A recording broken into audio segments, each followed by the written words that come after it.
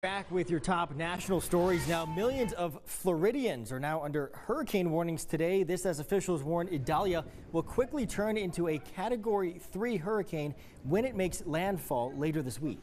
Now, this video here shows the storm just lashing out on Cuba, and officials in Florida are urging those in the eye of the storm to flee their homes ahead of the potentially life-threatening storm. Priscilla Thompson is on the ground in Cedar Keys with those details. A life-threatening storm barreling towards Florida's Gulf Coast. As residents brace for impact this morning, Idalia is now a major hurricane. How bad do you think the storm is going to be? Uh, it looks like he's going to be a big one.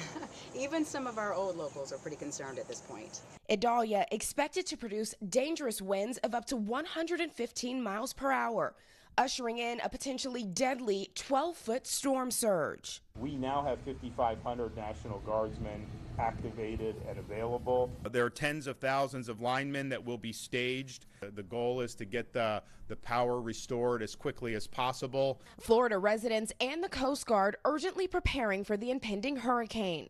Boarding up homes and businesses, stocking up on supplies, and filling sandbags to protect against storm surge. Some Florida communities still recovering after being battered by Hurricane Ian less than a year ago. I've got one window that has a small leak. I am, believe it or not, duct taping that, just trying to get ready for this one.